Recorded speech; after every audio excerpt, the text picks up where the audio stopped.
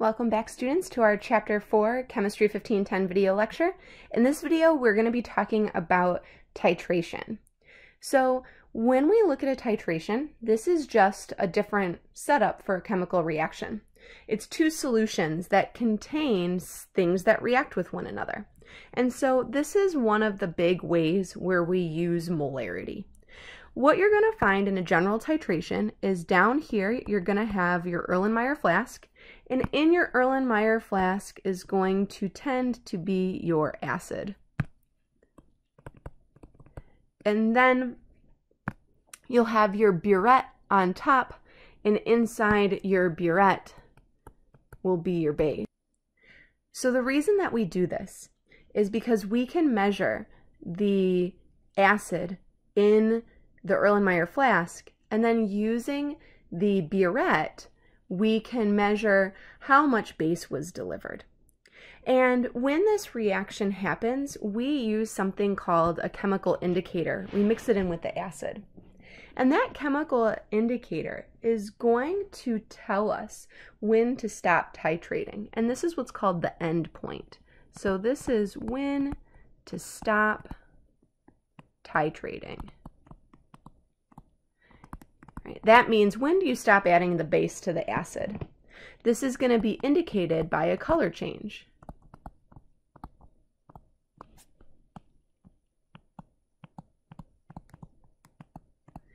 Typically, we use something called phenolphthalein in order to illustrate when to stop adding the base.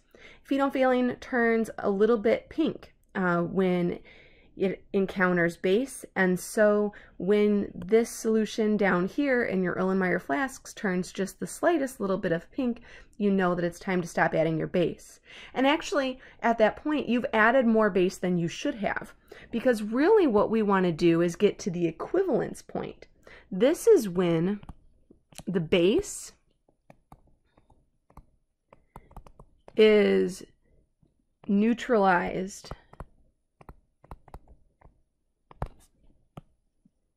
by the acid. This would be where you don't have extra of anything, right? Where both of them are in a perfect proportion to neutralize each other. And the thing is, this happens at pH of 7. And when we look at what's easiest for us to do for a titration, it's much easier to add a couple drops of phenolphthalein to your Erlenmeyer flask and then just have a very faint pink and assume that the end point is close enough to the equivalence point. It's why in lab what will end up happening is when you get hot pink or magenta, you've gone too far. You have to just throw out that data. And it's awful, but it's going to happen. So let's talk about how molarity is going to be used in these types of calculations. So remember that molarity was something maybe like uh, 0.5 capital M. When we write 0.5 capital M, what we really mean is there are 0.5 moles of whatever, solute, let's use NaOH, in one liter of NaOH solution. And we can write this now as a conversion factor because it has a two-part unit. But we can also take this and we can flip so that we have one liter on the top and the 0.5 moles on the bottom and we use what's convenient. And by convenient, I mean we use what cancels our units. So let's look at the first step of most titration problems. The hardest part for a titration problem is to know where to start. So what you're going to do is look for the molarity and the volume of a single compound. Because remember, if molarity is moles over liters, and you have a volume, then you can multiply those and just get moles. So for example, if you have 25 milliliters of the 0.5 molar NaOH solution from the prior uh, part up there, then you would take your zero, well, here, we'll practice metric. You'll take your 25 milliliters, convert it to liters, and then you can take that and use the molarity and say, okay, my molarity can be written as either this or this. What do I use to cancel my units? And so in this case, we'd use the top one so that our liters end up canceling. And then we would get our moles on the top. So then when we have moles, it turns into a kind of typical stoichiometry problem. So we've seen how to use molarity uh, and the volume to get into moles, and we've seen up here how to use molarity as a two-part conversion. So let's look at a typical problem. So here is a typical titration problem. It asks you how many milliliters, right? So we're searching for the volume of NaOH will be required to neutralize 25 milliliters of 1.75 molar HCl. So let's talk about why I emphasized the of. The of links those two numbers. So many times you're used to having a problem where you have one given and you know that's where you're starting. In this case, there are three components and you need to figure out where to start. So I want to set this up in such a way that we can kind of make sense of where all our numbers are coming from. So we know we have 25 milliliters of HCl, and I'm going to use proper significant figures here, and 1.75 molar for the molarity of HCl. We also know that we have 0.5 molar I'm going to put that one, move that real quick, 0.5 molar NaOH, and we don't know the volume.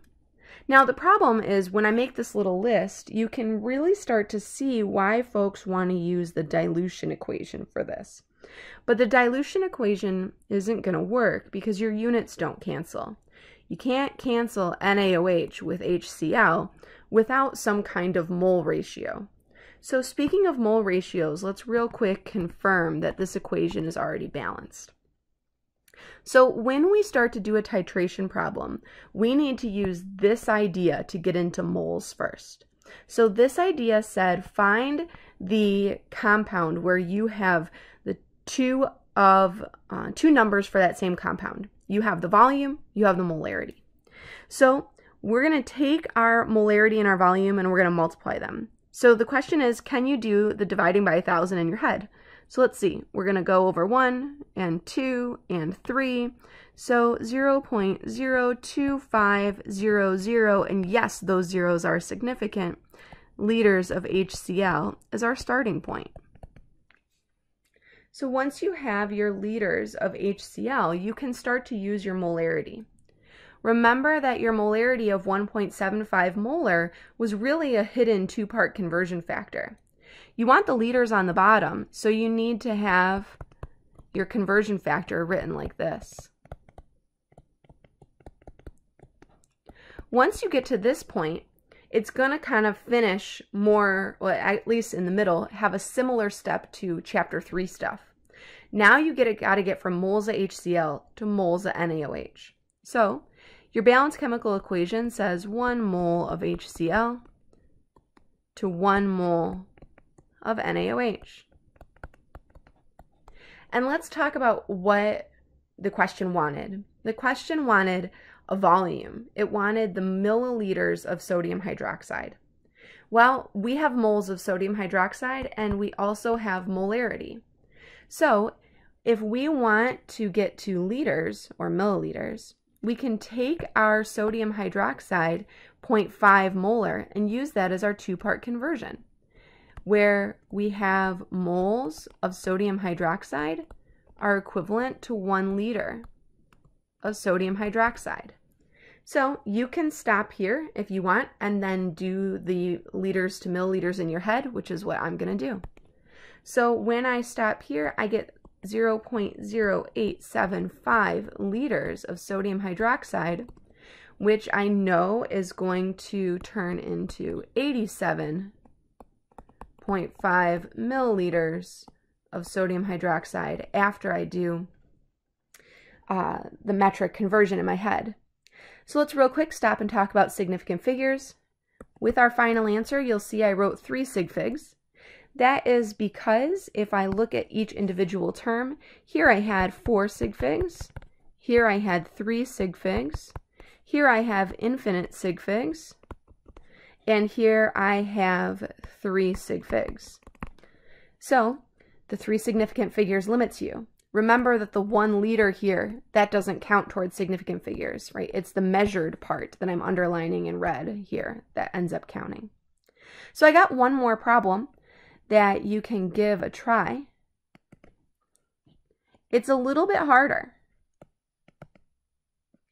The reason this one is a little bit harder is because you have to use your new metathesis knowledge and your nomenclature knowledge to start with a balanced chemical equation. So what I want you to do is pause for a moment and try that balanced chemical equation. See how you're doing with your metathesis. And then unpause when you're ready. All right, welcome back after pausing. I hope you gave that a try. This problem's a lot harder because you needed to come up with this first and then you also needed to balance it. So your first step was to write the chemical equation your step two was to balance. Then it's time to solve your titration problem. So when you look at this titration problem, here it says you have 50 milliliters of 0.5 molar KOH and you um, use 125 milliliters of sulfuric acid solution to neutralize. And it's asking you what the concentration is of the sulfuric acid solution. So we're going to start with the uh, KOH in this example because that's what we have two numbers for. We need a molarity and a volume to start. So I'm going to go ahead and quickly put the milliliters into liters in my head.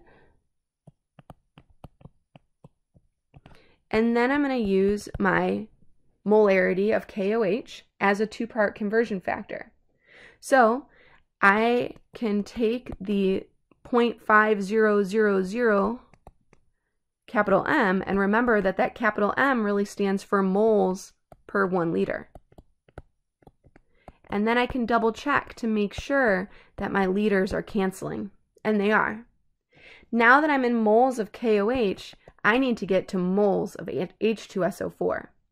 So for that, I'm going to use my balanced chemical equation. So 2 moles of KOH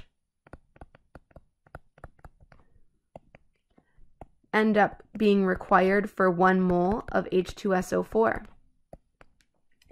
So at this point, we have a moles of H2SO4. How I like to end and how you like to end are not the same thing. Most of the time, students prefer to end here, get the moles of H2SO4, and then find the molarity by taking whatever they just solved for up here putting it in the top of our molarity equation, and then dividing by the 0.125 liters of H2SO4. I think that that's a lot of extra writing when all I really need to do is to put in one more conversion factor. And it, the reason students don't like it is because it feels a little weird. It feels a little weird because there's nothing on top. There's just a 1. You're just dividing by a volume. Because remember, what we want is our moles of potassium hydroxide to cancel, and we want a concentration of sulfuric acid. Concentration means molarity, moles per liter. And so here, once we've canceled out our units, notice how I have a moles and on the bottom of the next term, a liter. So I have successfully, without doing this extra work over here, that I'm going to erase because I don't like extra work, I've successfully came up with a final answer.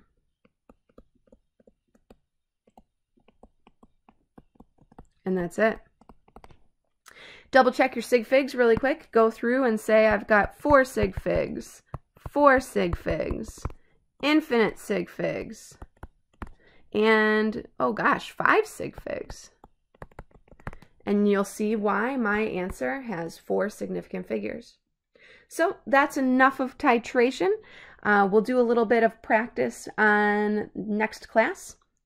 This is Cottone signing out.